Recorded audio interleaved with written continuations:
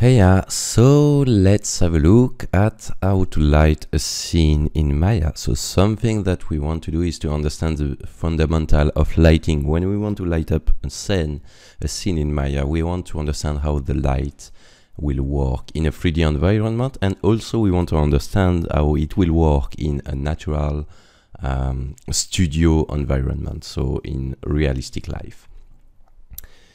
So something that I'm doing when I'm working on my lighting is to get most of the time a three point key scenario where we'll get one light that will be in front of our mod model, a second light that will be here to fill the model, and a backlight that can be here to rim the model or maybe to take some uh, backlight area where we'll be able to see a little bit of white that will detach the model from the background, so the model from the cyclo.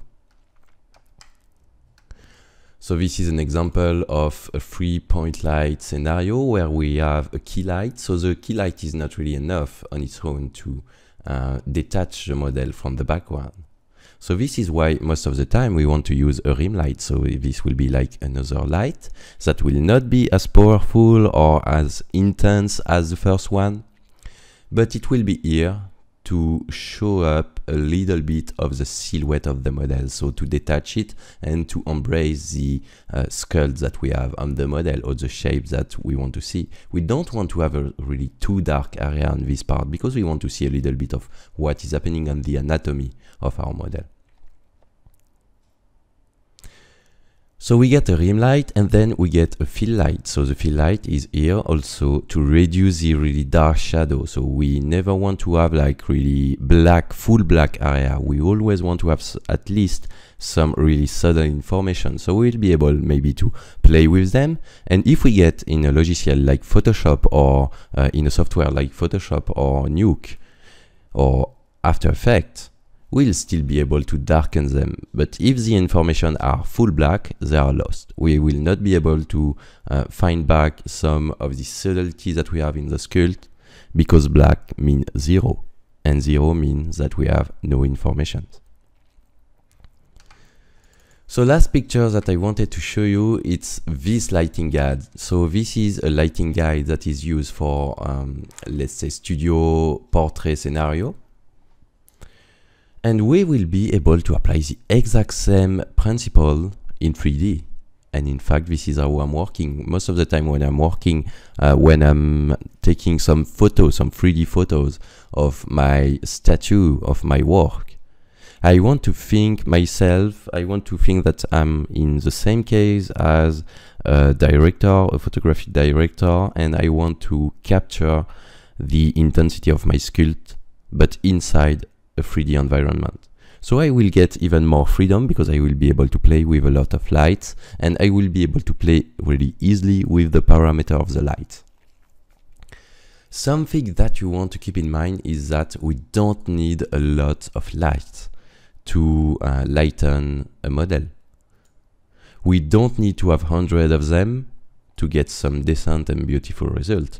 Just looking at this picture, everything that we get here uh, will be help thanks to what we have on the background as well. So the background will play a huge role in how you will light your model.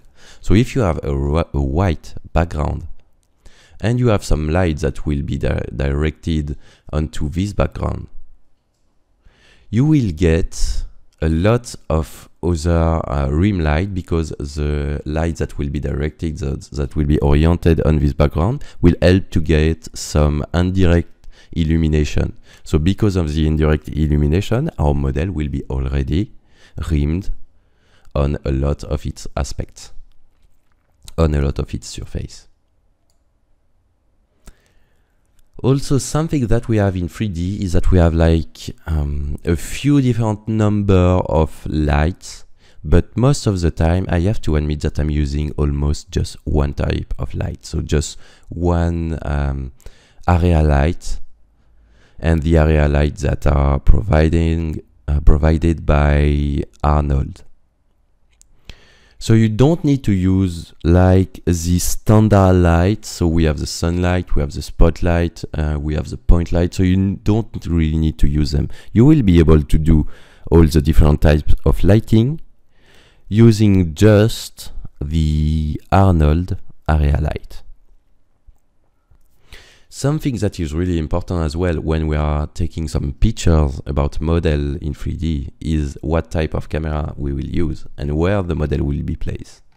So general, general rule is that for portrait camera, we want to use a focal length that will not give too much too much distortion on the model. So we don't want to have it something uh, to have someone who will look like uh, maybe you know this kind of picture of dogs that we are used to see online where the nose will be really large and even larger than the whole face and it is because uh, we use a camera with a fisheye for example so this is what we want to avoid when uh, taking some picture for a statue, a collectible, for example, because we want to be able to show it, uh, to show the full model and to show it without too much distortion.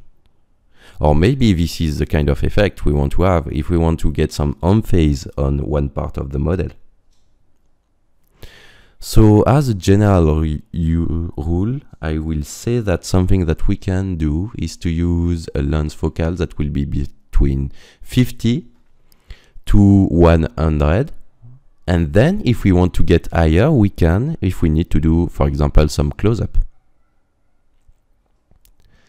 Also another rule that we have to follow or that we need to follow when we are working in a studio environment is that the model need to be around 2 meter from the back of the cyclo from the gray background. So 2 meter um, behind and we need to be one meter in front of our model.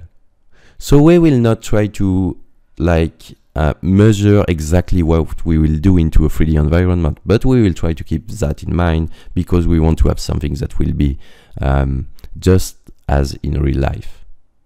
So we want to mimic what is happening in a real life studio environment. Then we'll have different lights.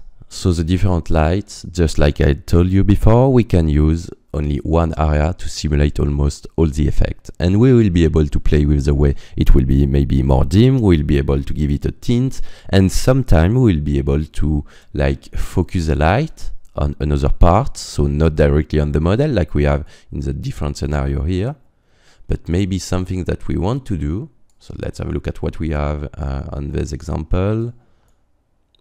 I'm not sure that we have one uh, that match what I wanted to show you, but something that we can do is just to lighten the background. And if we have a light background, we will get some um, indirect illuminations. So the light, the rays of light will bounce directly on the background and they will rim automatic automatically your model. So if we want to use also this kind of umbrella, so this is an effect that we can fake using only the area light of Arnold. And finally, if we want to give some hue to the light, we will also be able to do it because in Arnold light, so let's have a look quickly at what we have in Arnold. So this is just um, studio basic studio environment that I set up because in the next video I want to show you how to set up your lighting and what will be the effect of the different um, parameters of your light. But let's create quickly an area light. So this is an Arnold area light. Let's have a look at the attribute of the light. So in the attribute of the light, we'll find the intensity.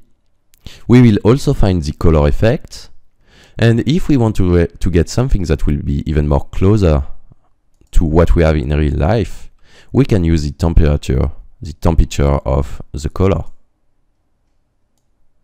So the higher we will go, the more bluish we will get, and the lower we'll go, the more reddish we will get. But if we want to play with some kind of filter, so let's say that in a studio environment, we'll want to have a filter directly placed on our um, area light. So if we speak about something like some green light, we will not be able to have it using only the, um, sorry, not this button here, but this color temperature.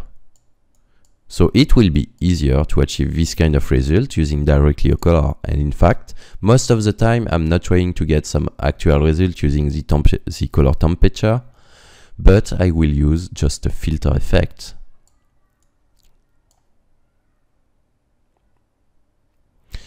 Then we'll get the spreading. So the, the spreading is how the light will be spread on the surface. So if we get something that will be less spread, you can have a look at what is happening in the uh, sample, is in the thumbnail here. So the less spread we'll get, the more uh, we will be able to see the shape of the light. Of course, if we want to have some round light, we'll be able to play with the roundness. And if we want to have some dim effect on the side of the light, we'll be able to soften the edge. So in the next video, I will show you how uh, these light reflect, so how they react into a studio environment and how you will be able to play with maybe the different sample in order to reduce the noise and uh, to give to to have some control over what you are doing in your studio environment. So guys, see you in the next video.